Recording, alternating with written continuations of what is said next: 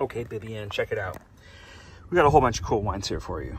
Morgon Eponyme. This is a Beaujolais by Jean Foillard from the Cru Village of Morgon.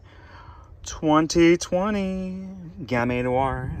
Sparkling red wine here. Mumm Napa. Sparkling red. I thought they only did that in Lambrusco. Turns out it's elsewhere too. Here's a cool wine from Argentina. 2012 Soleado. This is Corazon, Corazon del Sol, same folks behind Revana in Napa Valley. Look, it says imported by Revana Family Partners. Uco Valley, Mendoza. Next, we're looking at Penfolds Dry Riesling from Clare Valley, South Australia. Sweet wine, delectable, delicious, Garganega. This is Recioto di Soave, using raisinated grapes from the Veneto near Venice, Italy.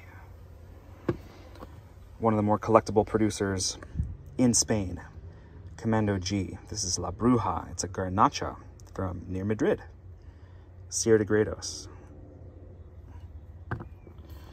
A delightful rosé here from Sancerre Pinot Noir, base, vintage 2019.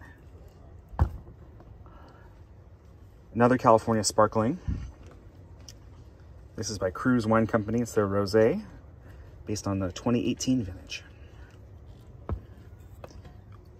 Super delicious sake action here. Masumi, this is the Sleeping Beauty.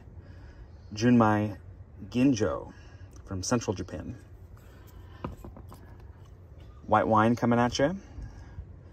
Petite Arvine is the name of the grape. Coteaux de Sierre. This is Valais from Switzerland. We don't see Swiss wine too often in the US, but this is one of the greats.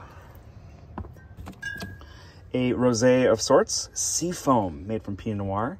Teutonic Wine Company. This is the 2020 version from Oregon in that beautiful flute bottle.